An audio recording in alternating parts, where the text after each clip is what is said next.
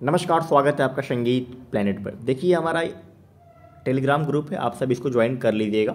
इससे पहले हमारा कोई ग्रुप नहीं था, हमने हाल ही में इसको बनाया है, ठीक है? इस ग्रुप पे आपको सारी इन्फॉर्मेशन मिलती रहती है समय समय पे। तो इसका लिंक जो है आपको डिस्क्रिप्शन या कमेंट बॉक्स में मिल जाएगा, ठीक है? अभी देखिए, अभी क्या न्यूज़ आ रही है कि जो ये पंद्रह मार्च को आपका पेपर जो लीक हुआ था, पंद्रह मार्च की जो दो पारियों में परीक्षा थी तो उसके पेपर लीक का मामला आ रहा था और ठीक है, उसके बाद बीपीएससी उसके लिए कमेटी का भी गठन किया था कि उसका रिपोर्ट आएगा, तब कुछ निर्णय होगा। तो ऐसे कयास लगाए जा रहे थे कि हो सके कि ये लोग पेपर को कैंसिल ना करें और फिर ये मामला यूँ ही टल जाए, बहुत ज़्यादा इस पर बवाल छिड़ी हुई थी, ठीक है? फिर कई सारी चीज़ें आई कि दस दिन पहले ही पेपर लीक हो गया है, फिर ये चीज़ें आई कि जो यूपी में पेपर लीक कराए थे, वही वो व्यक्ति हैं, वही वो संगठन है। तो इस तरीके का चीज़ें जो है, कई दिनों से अब लगातार सामने आ रही थी, पिछले दो दिन दो तीन दिनों से। और आज जो ये है, ये प्रेस रिलीज़ आया है बीपीएससी की तरफ़ से, जिसमें लिखा गया है, अगर आप ध्यान से पढ़ेंगे, कि जो परीक्षाएँ हैं दोनों पारियों की, यहाँ पे आप ध्यान से दीजिए, उसको रद्द कर दी गई है। ठीक है?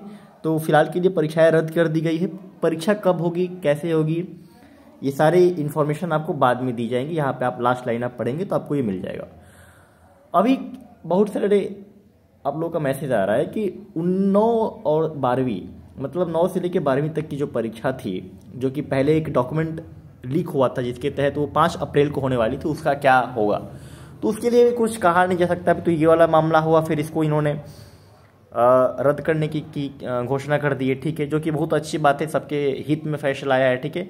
इसके लिए हमने भी वीडियो बनाया था ट्विटर कैंपेन भी हुआ, बहुत सारे ट्वीट किए गए, आप सभी ने भी समर्थन किया।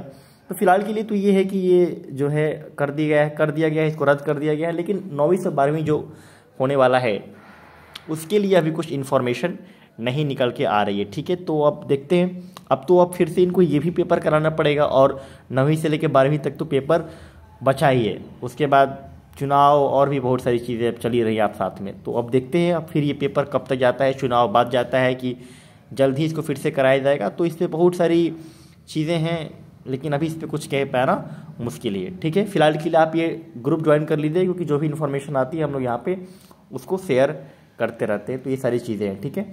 अभी तक के लिए बस इतना ही। धन्यवाद। जुड़े रहिए संगीत प्लेनेट से। और अगर आप संगीत के छात्र हैं तो चैनल को सब्सक्राइब कर लीजिए।